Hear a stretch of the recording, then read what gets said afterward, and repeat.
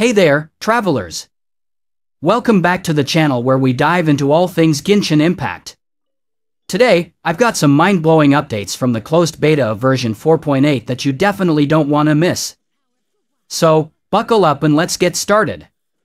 First off, let's talk about the massive content drop in 4.8. Our new hero, Emilie, is finally making her grand entrance. Along with her, we're getting her story quest, fresh maps to explore, sleek new skins, and a drumroll, please, a brand new permanent event. Yes, you heard that right.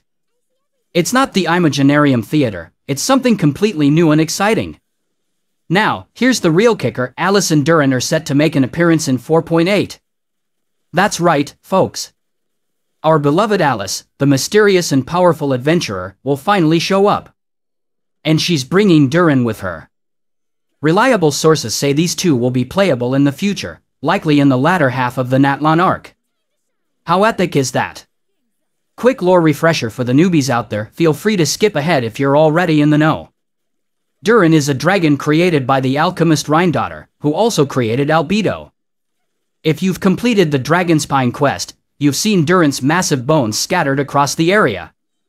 Safe to say, he's a pretty big deal.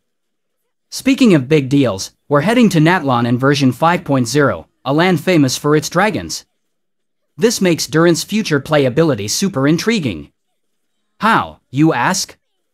Well, we don't have all the answers yet, but the summer event in 4.8 will be hosted by one of the Hexenzirkel witches, yes, those insanely powerful ones. So, resurrection magic? Possibly. Remember the mind-bending events hosted by Klee's mom, Alice? If she's involved, we're in for a wild ride. Plus, there are rumors about a new mount system in Natlan. Imagine riding Durin during the 4.8 main event. Whether we get to control him or just hitch a ride, like we did with Dvalin, it's going to be legendary. And speaking of Alice, we've been hearing about her for ages, but now, she's finally making her in-game debut. Genshin Intel suggests Alice will appear in 4.8 and will be playable in the future. Cue the excitement. Recently, we saw a concept art of Alice from a reliable source, Bloodnea. Picture this, Alice in a red hood, long white hair and a ponytail, scarlet eyes, elf-like ears, and feathered accessories. Sounds awesome, right? But another source, TeamNew, mentioned this might be an older concept from around version 1.5, used for voice acting references. So, don't get too attached to this design, it might have evolved.